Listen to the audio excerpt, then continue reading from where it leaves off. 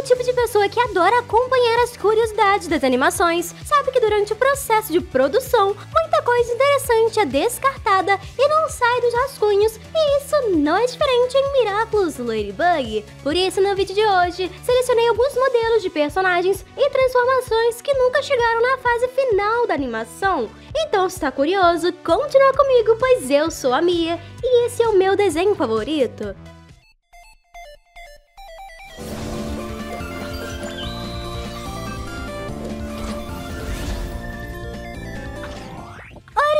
O design de Alia como Rina Rude foi apresentado numa versão um pouco diferente do modelo que aparece nos episódios. A raposa tinha cabelos soltos e volumosos, um ruivo igual ao atual com pontas brancas. Porém, no protótipo, as mechas soltas deixavam um efeito bem flamejante, algo que infelizmente foi substituído por um de cavalo muito artificial, na minha opinião. Mas não é como se os estúdios de animação que trabalham com a Zeg entregassem cabelos maravilhosos. A maioria mal se move junto com os personagens e em alguns casos até pulam para fora da cabeça. Se você parar para analisar em câmera lenta o cabelo de Ladybug em cenas de perseguição e luta, vai entender o que eu estou falando.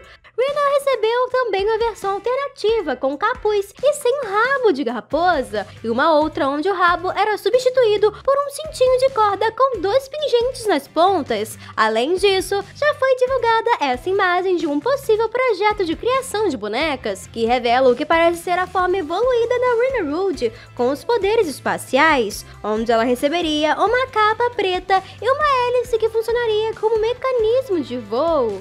Queen Bee deve ter passado por várias modificações até chegar no visual de transformação que aparece na do desenho. E digo isso porque saiu em um pôster promocional da Zeg, uma versão dela bem diferente da que conhecemos. No modelo 2D, ela aparece com o cabelo solto, usando uma boina e duas anteninhas amarelas no cabelo. Queen Bee teria uma bolsa redonda no lugar do peão e a parte de cima do traje seria toda felpuda. A abelhuda também foi prejudicada no cabelo, especialmente nas duas mechas da frente que parecem um par de chifres, e é até meio triste se comparar o design 3D desse cabelo com a transformação em storyboard, que é bem mais bonito. Queen Bee também ganhou uma mochila jato com asas esverdeadas que provavelmente faria parte de sua evolução de poderes espaciais, a qual nunca veremos porque ela nunca mais vai tocar nesse Miraculous.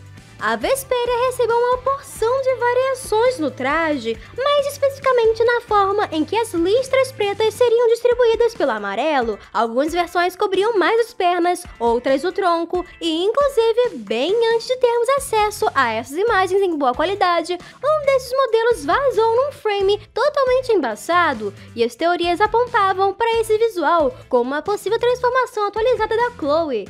Se voltarmos ainda mais no tempo, lá no episódio reverso, vemos nos desenhos do Nathaniel um outro modelo semelhante, e ele se parecia mais como uma versão alternativa da Rainha Vespa que estaria enfrentando a Ladybug e o colecionador. Seria essa a confirmação de que a Vesperia é uma reciclagem da Queen Bee? Fazendo ainda uma última menção a Miraculous da Abelha, temos essa versão super simples da fusão Lady Bee, onde a Marinette aparece usando uma roupa toda amarela com pintinhas pretas, se parecendo mais com um pote de mostarda do que qualquer outra coisa.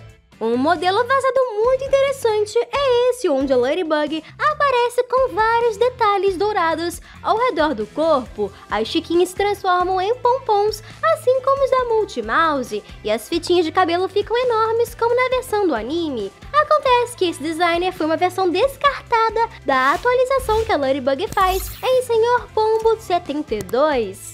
O design da Mayura passou por algumas mudanças não tão legais, mas é aquele mesmo esquema de que nos rascunhos é tudo muito lindo, só que na hora de passar pro 3D precisa ser algo mais fácil de animar e alguns cortes precisam ser feitos. Originalmente, a Mayura, que se chamaria Lepaon, usaria botas que foram substituídas por tamancos meio contornos. Um vestido com cauda que se arrastaria pelo chão e precisou ser bem encurtado para fazer sentido nas cenas de luta. Seu leque teria menos penas e a paleta de cores seria um pouco mais fiel à do Miraculous. Enfim, a vilã teria um aspecto bem mais suave. Piguela e eleita por muitos a heroína mais fofa de Miraculous. Seu uniforme faz referência a uma roupa de bailarina e parece que ela acabou de sair de um reino açucarado. Já suas versões descartadas tinham um tom um pouco mais sério, se parecendo mais com traje espacial. E sendo bem sincera, eu gostei muito dessa versão mais próxima da paleta de cores de Daisy. Já foi divulgado um modelo bem misterioso do Rock Moth, que assim como todos dessa lista também foi descartado. Neste design, o Miraculous da borboleta seria um pouco diferente, e o vilão usaria um capacete que cobriria sua cabeça inteira, destacando seu visor espelhado. Talvez nessa versão, o Rock Moth usaria algum tipo de modificador de voz e demoraria, quem sabe, mais uma temporada inteira até revelar sua identidade secreta, já que na série fica meio óbvio desde o começo que sempre foi o Gabriel. Por fim, temos um design descartado que poucas pessoas devem conhecer, que é essa versão alternativa da esmagadora. Diferente da gigante dourada que aparece no desenho, Zoe se transformaria na versão prateada de Chloe, com roupas e acessórios cristalinos ou de gelo. E se você também acha que alguns protótipos são bem melhores que a versão final, já deixa aquele like e me conta quais desses modelos descartados você salvaria se pudesse. E se inscreva no canal se ainda não for inscrito. Obrigada por assistir até aqui e hasta la vista!